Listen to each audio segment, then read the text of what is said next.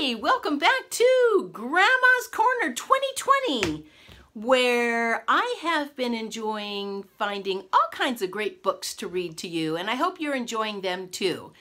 It's really nice to have books read, especially really fun books like this one, The Very Hungry Caterpillar. This one goes really well with my video that I did on the life cycle of a butterfly, specifically a monarch butterfly. And I did mention this at the end of my video. So if you have never read this book, this is a great one either to listen to Grandma right now or to maybe borrow from your library. All right, let's get going. Thank you, Eric Carlisle. Or Carl. Maybe it's Eric Carl. Sorry about that, Eric. All right, here we go, folks. In the light of the moon, a little egg lay on a leaf. The egg right there.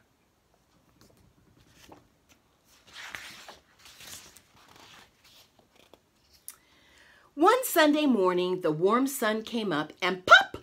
Out of the egg came a tiny and very hungry, you got it, caterpillar.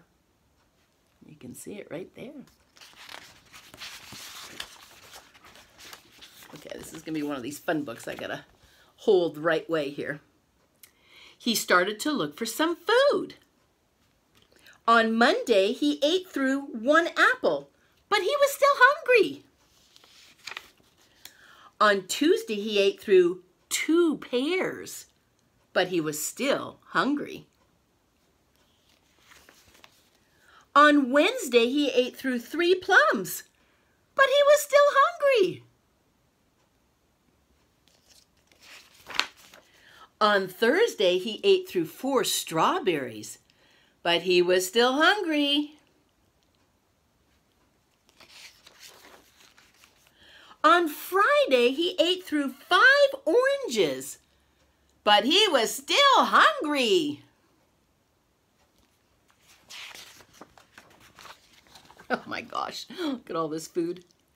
On Saturday, he ate through one piece of chocolate cake, one ice cream cone, one pickle, one slice of cheese, one slice of salami, one lollipop, one piece of cherry pie, one sausage, one cupcake, and one slice of watermelon.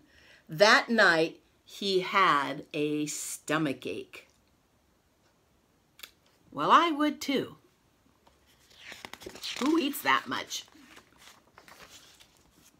The next day was Sunday again. The caterpillar ate through one nice green leaf, and after that, he felt much better.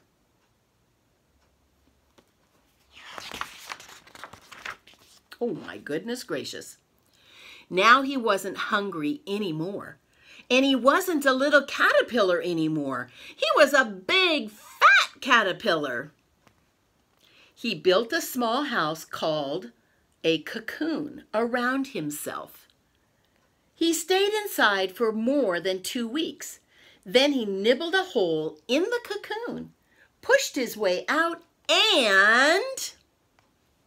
Do you have a guess? Oh, he was a beautiful butterfly. So pretty. And that's the end, folks. The Very Hungry Caterpillar by Eric Carle. So that's one of my favorite books also. I guess I have a lot of favorite books because I keep saying that, don't I? I just remember reading them to my students and to my kids, and these books bring me very fond memories. So I hope you enjoyed it. I hope you'll come back. I have lots more to choose from, so get excited and be sure to, to, to subscribe, tell your friends, tell your families, to the world, go to Grandma's Corner 2020 and support my cause. All right, you have a good day. Good night, my friends. Bye-bye.